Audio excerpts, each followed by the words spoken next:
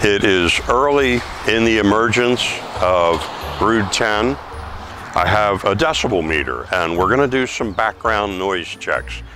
When I speak, it goes up into the 70s. When we get a little truck traffic come by, it stays in the 60s to 70 decibels. We are on the corner of Minstrel Way and Snowden River Parkway. We have a reasonable volume of traffic out here and give you a decibel reading on that. All right, 83 is our max. We are at CA's maintenance shop on Gerwig Road and we have one of our lawn mowers here. I'm gonna have Tony crank this up. That reads 99 decibels. So today is June 1st. It's 2 o'clock in the afternoon.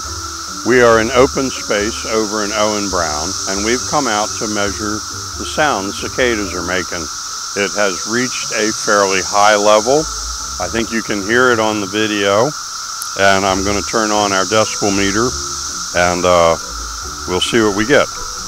So I'm getting a maximum of 85 decibels, although it is moving around.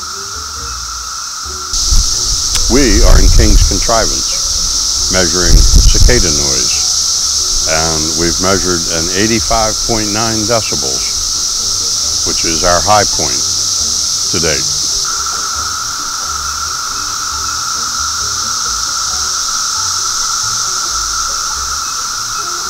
They're loud, aren't they?